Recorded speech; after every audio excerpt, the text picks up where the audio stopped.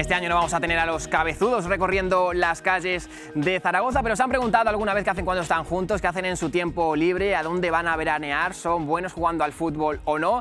Pues lo vamos a saber. ¿Y cómo es posible? Pues gracias al libro del escritor Michel Suñén, que nos atiende ya por videollamada. Eh, muy buenas tardes. Hola, buenas tardes a todos. Bueno, ¿qué vamos a poder descubrir en este libro?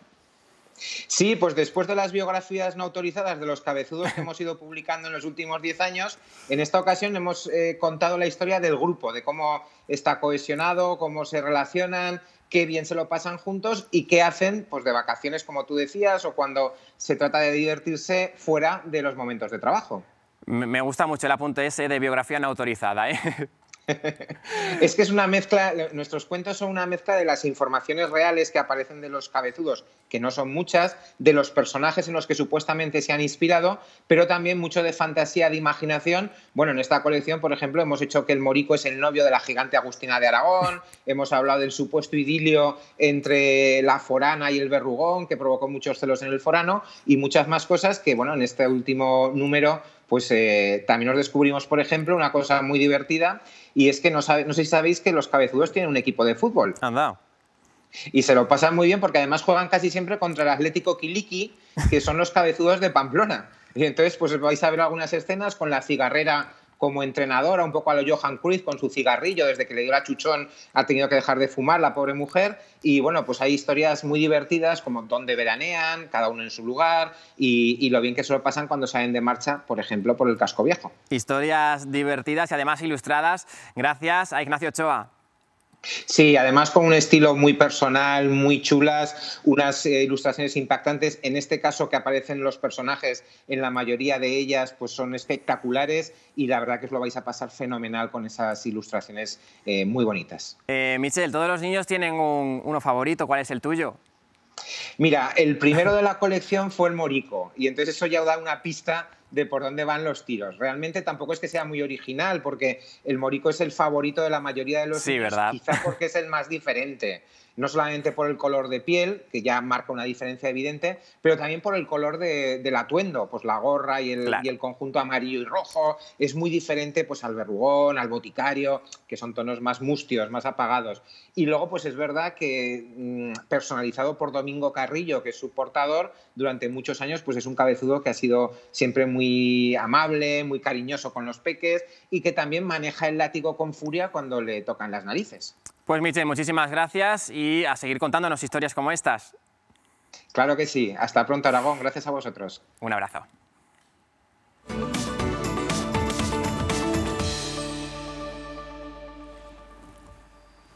Pues ya hemos conocido la vida personal de los cabezudos y ahora vamos con otros grandes, los gigantes. Y vamos a hablar de ellos con Maribel. Muy buenas tardes. Buenas tardes. Eh, bueno, también tenemos una larga historia porque gigantes y cabezudos pues forman parte de la esencia de siempre de esas fiestas del Pilar. Ya que este año no vamos a tenerlas, pues bueno, vamos a conocer un poquito más acerca de estas figuras, ¿no? Vamos a hablar de los gigantes, eh, que me he quedado yo muy sorprendido leyendo la documentación que están arraigados a las fiestas del Pilar, pero no son originarios de ellas. Ni los gigantes ni los cabezudos. ¿Pero cómo es esto?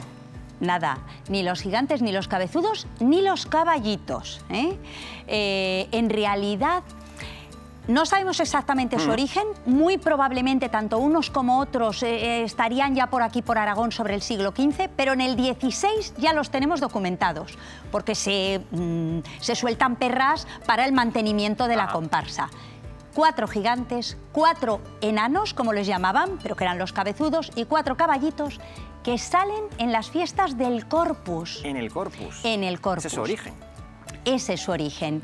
Cuando salía la custodia, salía rodeada por los eh, gigantes que representaban a las cuatro partes del mundo conocido y que era, pues eso, Cristo eh, que es comunicado y que se extiende el cristianismo a lo largo de todo el mundo. ¿Y también correteaban tanto? No, los gigantes siempre han sido gente Mm, eh, seria, formal, responsable, importante. Los que corrían eran los cabezudos, huían despavoridos, eran el mal eh, que huían al paso de Cristo, que traía el bien del mundo. Era una cosa, pues bueno, pues muy especial.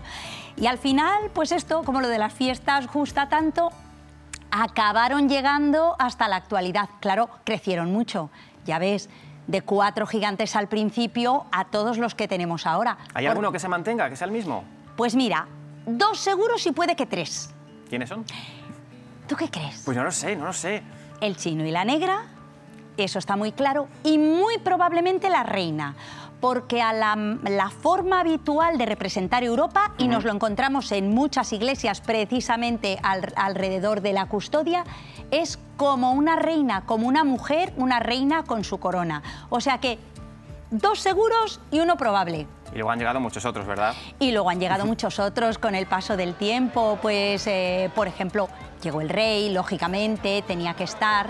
Eh, ha cambiado de nombre. Sí, porque al principio se asociaba con Jaime I el Conquistador y luego en 1918 eh, pues dijeron, mm, ya que celebramos el 800 aniversario de la conquista de Zaragoza, Alfonso el Batallador. Y la reina, bueno, pues su esposa, Urraca. No sé, que se llevaban fatal. Y bueno, pues con el tiempo, Don Quijote, Dulcinea y los duques de Villahermosa. Y los últimos, bueno, pues dos incorporaciones fantásticas, Palafox y Agustina de Aragón. En cambio, eh, los cabezudos son personajes más populares, ¿verdad? Personajes populares, bueno, yo te digo una cosa, en, en Zaragoza somos muy peculiares. ¿Por qué? Porque el gran homenaje que te pueden hacer no es que te den una copa o una medalla, es que te hagan un cabezudo. Desde luego, ¿verdad? Es verdad, es verdad. Para mí es algo muy especial. Con el tiempo fueron incorporándose varios y, bueno, los últimos, pues personajes muy, muy populares. La Pilara, ¿eh? Pilar La Huerta, la vedette del Oasis, que bueno, me parece fantástico. Herminia, la cigarrera del tubo. O el azutero, el rollo del rabal. O sea, personajes, pues, súper muy, populares, pueblo, muy arraigados en el pueblo, exacto. ¿Cuál es tu favorito? Pues fíjate, mi favorita era siempre eh, la Pilara. Era ¿Has la Pilara. ¿Has cambiado? Es que tengo, tengo el corazón partido. Anda.